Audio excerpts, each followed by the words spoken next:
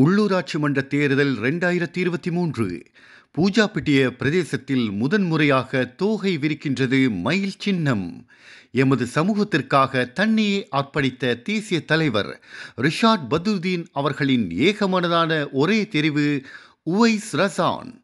அனுபவம் ஆற்றல் கல்வித்தகமை கொண்ட பிரதிநிதியை அனுப்புவதன் மூலம் எமது பிரதேசத்தின் அரசியல் எதிர்காலத்தை பிரகாசமாக்குவோம். இம்முறை உங்கள் பொன்னான வாக்குகளை மயில் சின்னத்துக்கு வழங்குவோம் தனித்துவம் காத்து சமத்துவம் பேணி வென்றிடுவோம் எமது உரிமையை රසන් වයි රසන් මාතුමාට ගෞරවයෙන් ආරාධනා කළ තිබුණා මේ වැඩ කරන්න පිළිබඳව ඒකෙන් ඒත් එක්කම මේ අවස්ථාවේ අපි පූජාපිටිය ප්‍රාදේශ සභාවේ ගරු කලින් මතුමා මේ ස්ථානයේ පැමිණියා මම අපේ අපේ නසර් මහත්මයා අනිත් මහත්මයා වෙනුවෙන් තමත් ආදරෙන් ගෞරවයෙන් අවස්ථාවේ පිළිගන්නවා. පිළිගෙන අපි වැඩසටහන ඉදිරියට කරගෙන යමු කියන මතකයි. සියලු දෙනාටම අස්සලාමු අලයිකුම්. අයිබෝවන් මේක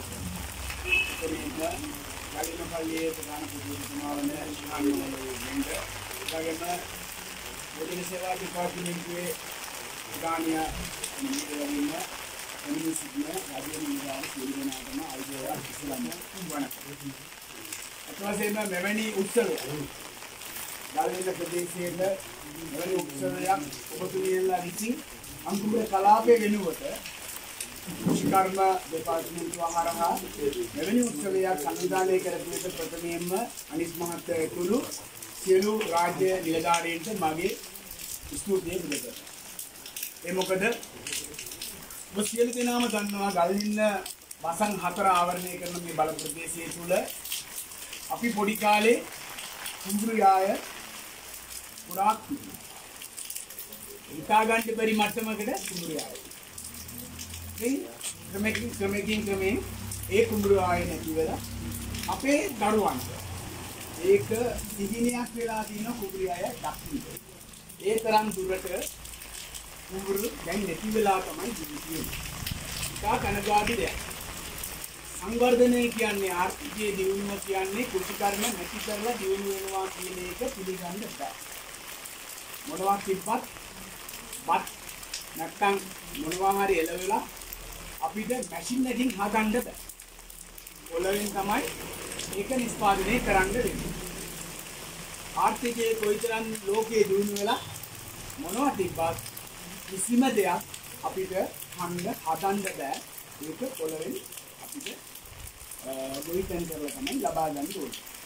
එවැනි තත්ත්වයක් තමයි මේ බල ප්‍රදේශයේ අපි බලාපොරොත්තු වෙන දේ තමයි පුරම් වෙලා තියෙන සියලුම කුඹුර. එක එක්කෙනා එක එක විදිය ඒක ආක්‍රමණය කරලා දිනනවා. ඒ ආක්‍රමණය කරලා දින එක සම්පූර්ණම ඔබතුමීලාගේ තියෙන බලය අනුව රටේ ආර්ථික තත්ත්වය දියුණු කරන්න මේ බල ප්‍රදේශයේ ආර්ථික තත්ත්වය දියුණු කරන්න පළවෙනිම අපි කරන්න තියෙන්නේ මෙන්න මේක. එම නිසා ඇත්ත වශයෙන්ම මම අනිත් මාත්‍යා ගැන ප්‍රශ්නයක් කියන්නේ.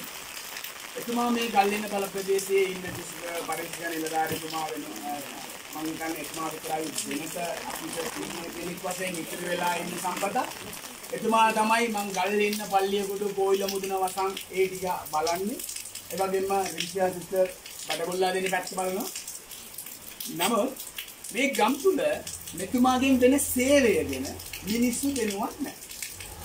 කොයිතරම් දේවල් මේ මේ අනිස් මහත්තයා මේ ගමට ගේනවද කියලා මිනිස්සු දෙන්නවත් නැහැ. කවුරු මොනවා කිව්වත් එතුමා කරන දේවල් සමහර මිනිස්සු ඒක තමන්ගේ කියලා හර අරගෙන එතුමා කරන රාජකාරී ටික සියලුම මාධ්‍යවලත් අනිතෙන් වලත් පම්පෝරි ගහගෙන තමන් කරා කියලා සියලුම දෙන මේවා කරගෙන ඉන්නවා. ඒක වැරදි. රාජ්‍ය නිලධාරි කෙනෙක් ඒ ගම් තුල ඉන්න රාජ්‍ය නිලධාරීන්ගේ ගෞරවයක් තියෙනවා. ආත්ම ගෞරවයක් තියෙනවා. ඒ ආත්ම ගෞරවයේ සල්ලි වලට නමන්න බෑ. ඒ ආත්ම ආත්ම ගෞරවය කාටවත් නමන්න බෑ. ඒ රාජ්‍ය නිලධාරී කෙනෙකුට ගෞරවය දෙන්න. අපේ වසන් වල ඉන්න සියලුම රාජ්‍ය නිලධාරීන් ඒ ගෞරවයට හිමි රාජ්‍ය නිලධාරීන්. එම නිසා මම කාරණික ඉල්ලීම් ඉල්ලීම් කරලා තියෙන්නේ පොදුවෙන් මුස්ලිම් ගම්වල එවැනි තත්ත්වයක් රජයේ නිලධාරීන් ගැන අවතක්සීරුවක් කරන මම කනගාටු වෙනුනත් ඒක කියන්න සිද්ධ වෙලා තියෙන්නේ අව탁සීරුවක් කරන්න සිද්ධ වෙලා තියෙනවා මොකද ගම්වල මිනිස්සුන්ට ඒ ඒ ඒ රාජ්‍ය නිලධාරීන්ගේ වටිනාකම දෙන්නේ නැහැ.